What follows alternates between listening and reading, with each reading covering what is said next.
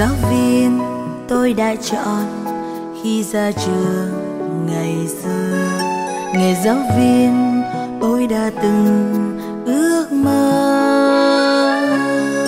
Nghề nhà giáo tuy có vất vả vì hạnh phúc tương lai đàn em vì tổ quốc quê hương đẹp hơn nên tôi yêu sao nghề giáo viên.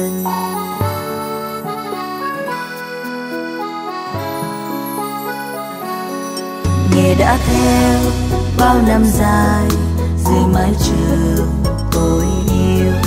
Nghề đã cho bao kỷ niệm khó phai. Nghề đã sống trong trái tim này, nguyện ươm đam cho bao mầm xanh. Dù vượt khó, gian nan kề bên luôn vươn lên đắp xây cho đời.